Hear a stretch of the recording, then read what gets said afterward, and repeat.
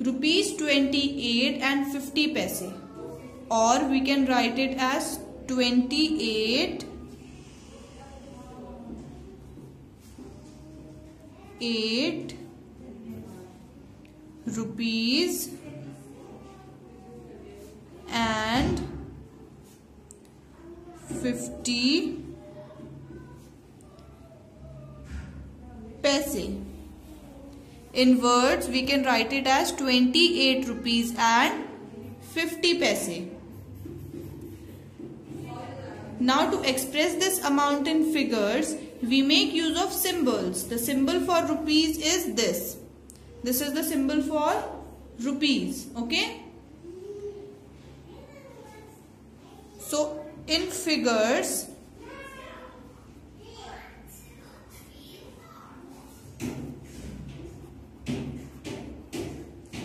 we'll write it as rupees 28 and 50 paisa.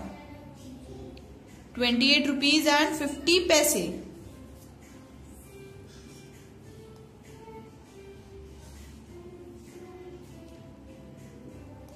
This dot is used for word and like 28 rupees and 50 paise.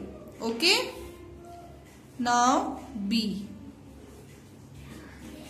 if we have to write rupees 29 and 45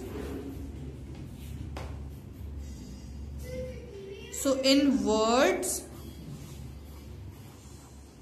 words में हम कैसे लिखेंगे इसको twenty nine